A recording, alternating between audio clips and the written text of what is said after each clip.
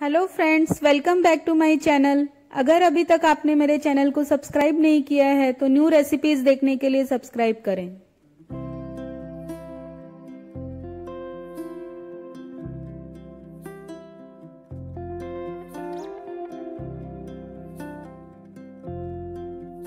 आज हम बनाएँगे डाइट चिवड़ा। उसके लिए मैंने लिया है एक कप मूढ़ी। कोई लोग इसे मुरमुरा या पफ्ड राइस भी बोलते हैं। हम इसे लो से मीडियम फ्लेम में ड्राई रोस्ट ही करेंगे, कोई तेल या घी नहीं डालेंगे। जब ये थोड़ी कुरकुरी हो जाए तो इसे निकाल लेंगे कढ़ाई से।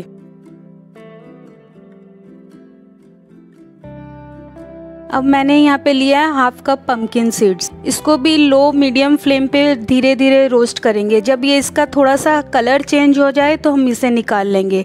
इसके बहुत ही फ़ायदे हैं। ये बहुत प्रोटीन और वाइटामिन में बहुत रिच होती है। ये क्रिस्पी होने के बाद खाने में भी बहुत अच्छा लगता है।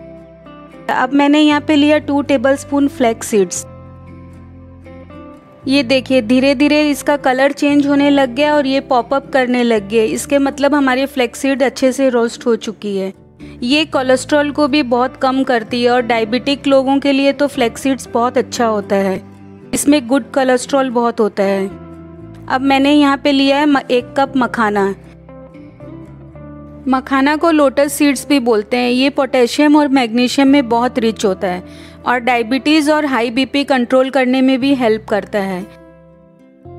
आप इसे इस तरह रोस्ट करके इवनिंग टी टाइम स्नैक्स की तरह भी खा सकते हैं। ये एक बहुत ही हेल्दी ऑप्शन है। मखाना अच्छे से हमारे रोस्ट हो चुके हैं।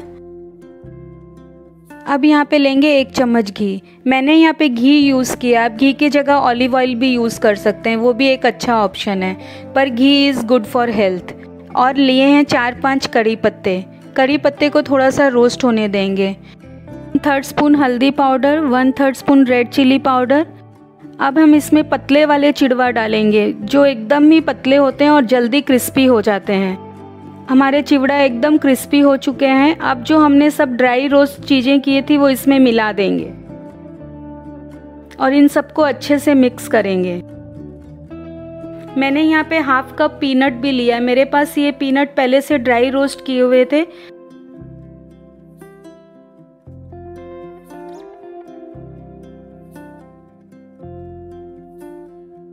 सबको अच्छे से मिक्स करेंगे।